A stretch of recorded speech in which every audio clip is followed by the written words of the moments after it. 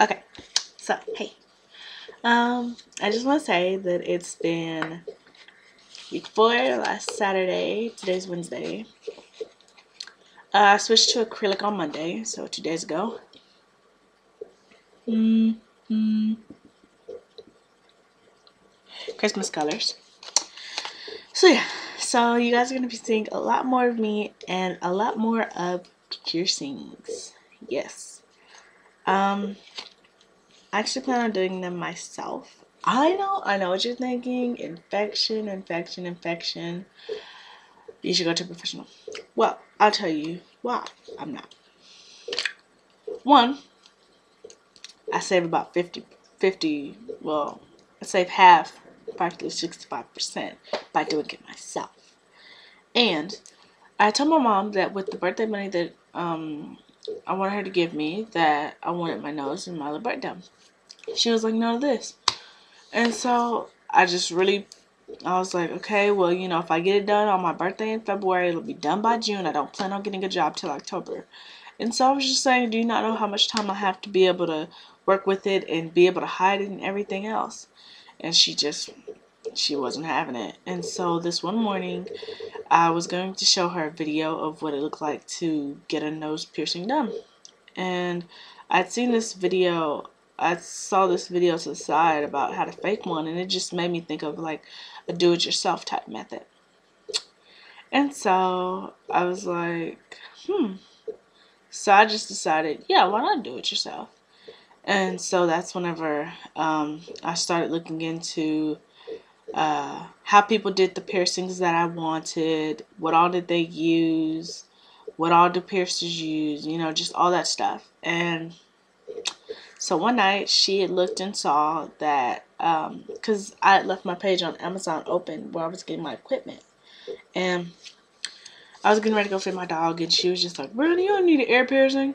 And so I just went out and fed him and I came back, she was still in my room. And so she was like, you don't need to be doing it yourself. I don't know why you're sitting here looking up kits and stuff. That's how you get infection, da da. You need to get done by a professional. And so I was like, Mom, I've sat here and tried to tell you everything. I want to get it done professionally. Yes, I do. But you just sat here and said no for me to wait till I'm 18, thus pushing me to do it myself. And so she was like, okay, fine, Brianna, you, fine. And so she, and so then she was just like, you'll just be really ghetto.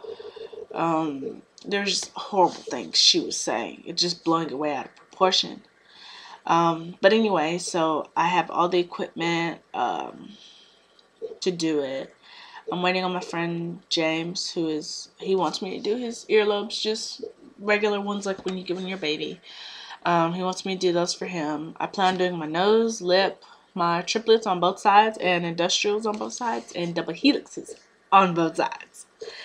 So yeah, um, I plan on getting a webcam for another computer so that way I can videotape myself doing it and cleaning it as I go and whatnot.